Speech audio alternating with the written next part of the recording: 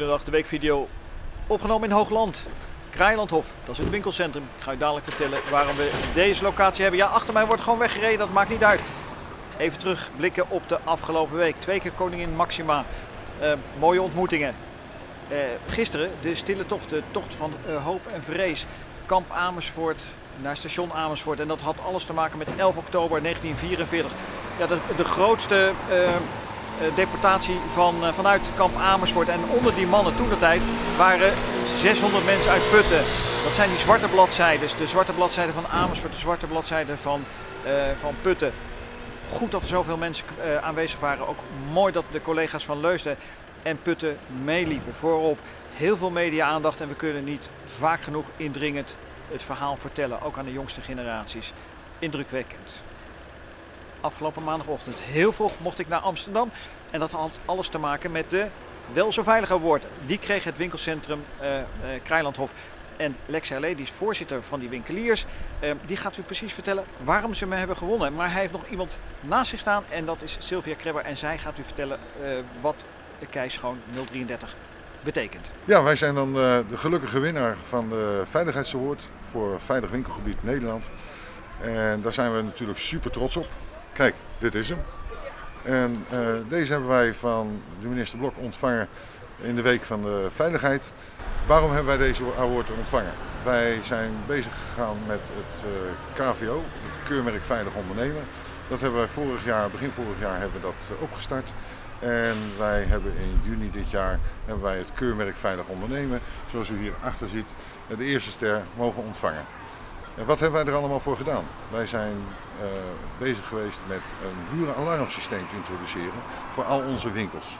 Eh, hierbij kunnen we elkaar waarschuwen eh, over veilige, onveilige situaties, bijvoorbeeld winkel, winkeldiefstal, bijvoorbeeld verdachte personen. Maar ook kunnen wij elkaar waarschuwen als er iemand bijvoorbeeld onwel gaat worden op het winkelcentrum. Ehm, daarnaast hebben we de scholen bij betrokken.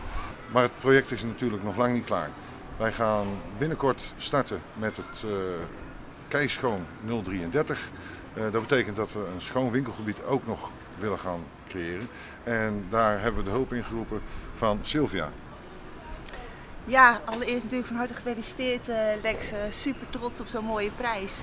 En veilig en schoon heeft alles met elkaar te maken.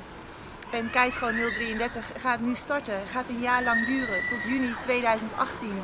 Na het succes van winkelcentrum Eemklaar, Stationplein en eh Eemplein, nu het Kruilandhof.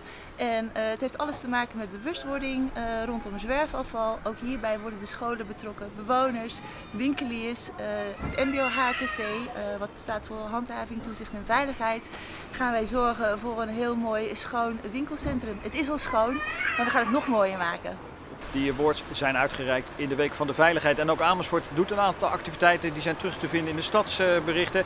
En van de week was er een kleine activiteit in Zielhorst, omdat er ja, iets te vaak werd ingebroken. Eh, het is altijd te vaak natuurlijk. Eh, maar dan kunnen we rechtstreeks informatie aan mensen geven. En er kwamen 50 mensen op af. Heel goed.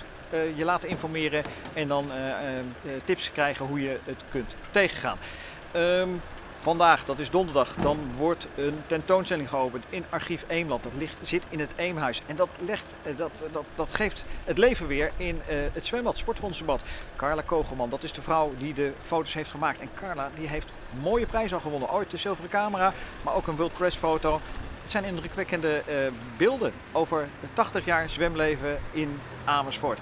Daar kunt u gewoon naartoe. Ehm, als het Eemhuis open is, behalve op de zondag, want dan is dat gedeelte van het Eemhuis niet open. Nou, dat eh, merkt u vanzelf. Ehm, en er is nog een andere tentoonstelling en dat vindt plaats in het Sint-Pieters en Blokland gasthuis tot eh, eind van deze maand. Pop-up museum eh, en het Sint-Pieters en Blokland, dan moet u wel in het oude gedeelte van de stad zijn. Daar is het te bezoeken van dinsdags tot en met zondag. De weekvideo voor deze week zit erop. Volgende week heel veel aandacht voor het bezoek van het Koningspaar. Maar daar ga ik u volgende week uitgebreid alles over vertellen. Tot dan.